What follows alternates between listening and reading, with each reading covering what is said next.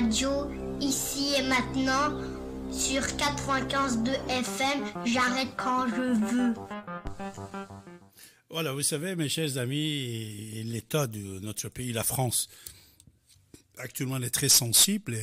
Euh, on parle de questions de politique, des conflits avec euh, le monde entier, contre la France, contre le président, contre à droite, à gauche. Enfin, il y a les élections municipales samedi, non, dimanche, dimanche 15 et dimanche 22. Oh, je crois qu'il faut aller voter. Pourquoi il faut voter? Puisque vous devez euh, prendre des décisions pour votre ville. Euh, c'est très important. Parce que euh, la mairie de votre et ce qu'il fait, c'est très intéressant, très important. Moi, je peux constater depuis 40 ans que je suis en France que vous pouvez imposer certaines idées euh, pour votre ville par la mairie. C'est très important. Ce n'est pas comme présidentiel, comme des députés, tout ça. Il faut aller voter. À Paris, il y, en a quatre. Et moi, je pense que c'est en Hidalgo qui va gagner de nouveau. Euh, Rachida Dati aussi, il est la deuxième peut-être. Euh, elle aussi, elle a bien travaillé, Rachida. Rachida Dati, elle a bien travaillé. Les gens de son quartier sont satisfaits de d'elle. Euh, mais de l'autre côté, je crois que la ville de Paris, c'est en Hidalgo qu'il va encore, va encore rester. Puisque n'oubliez pas, vous n'oubliez pas si même d'autres mouvements ils voulaient, d'autres mouvements que les républicains, qu'ils voulaient obtenir absolument la mairie de Paris, il aurait mis des gens combattibles avec les deux autres. Ce qu'ils ne font pas, peut-être, c'est de temps en temps des accords euh, cachés, et voilà. Et je crois qu'une grande majorité serait pour garder Anne Hidalgo. Et de l'autre côté, nous sommes face à Corona. Il faut respecter le conseil qu'on vous donne euh, de deux parties, de deux parties très importants. Les médecins, les, euh, les hôpitaux, votre médecin traitant. Et de l'autre côté, c'est le policier, la force de l'ordre de votre pays la force de l'ordre, ce soit les policiers, le gendarme, CRS, euh, police municipale, il y en a pas, peut-être dans certains endroits il y en a, peut-être il y en a pas. Il faut écouter aussi les conseils des policiers. Il faut sortir de la tête cette idée violence policière, la haine de policiers. Euh, ça ne sert pas. S'il y a certains conflits, euh, tous ces conflits-là, tous ces problèmes-là, on peut les ramener devant la justice. Euh, même si vous n'êtes pas euh, content de la justice, que vous pensez, il y a des magouilles dans la justice en France aussi, que beaucoup de gens croient ça, surtout des politiques, mais ils n'osent pas le dire, ils ont peur de dire. Tous les politiques qui sont jugés par le euh, par la justice, dans le fond, ils pensent qu'il n'y a pas de justice en France. À moi, ils m'ont dit plusieurs fois, je le sens discrètement, mais ils n'osent pas le dire officiellement, puisque s'ils disent officiellement, encore, on va les embêter qu'il soit président de la République ex euh, ou euh, premier ministre, ministre, sénateur, euh, tous ces bordels que vous voyez dans le champ juridique et judiciaire de la France pour Fion, vous le savez déjà, c'était un coup monté, tout le monde le sait. Et pour d'autres choses aussi, voilà.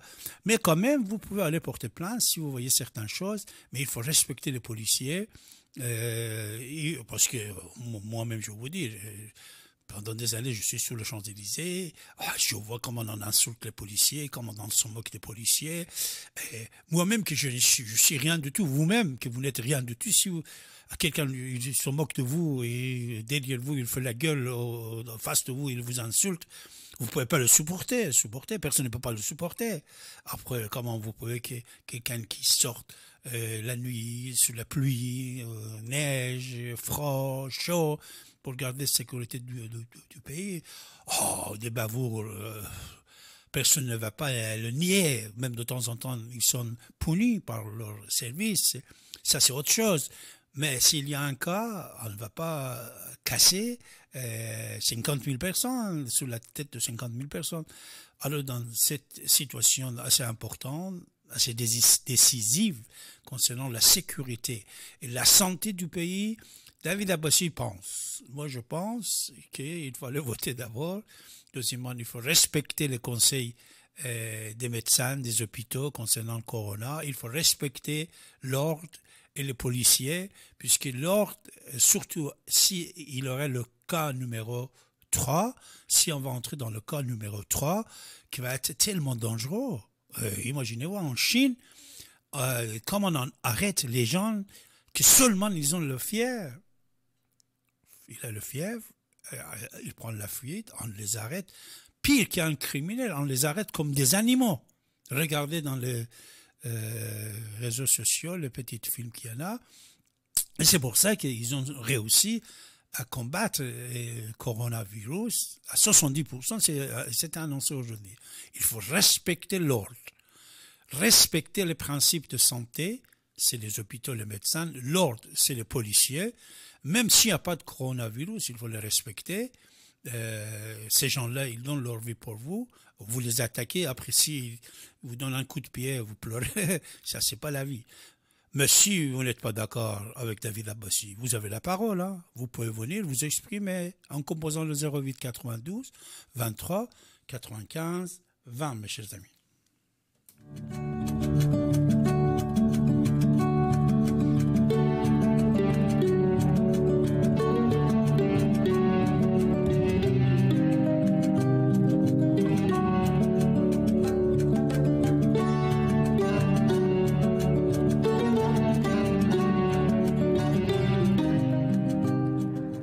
Radio ici et maintenant sur 95.2 FM.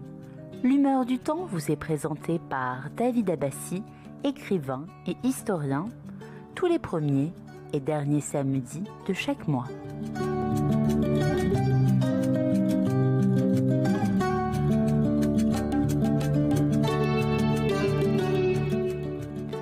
Vous avez la parole pour vous exprimer, poser vos questions partagez vos points de vue ainsi que vos informations.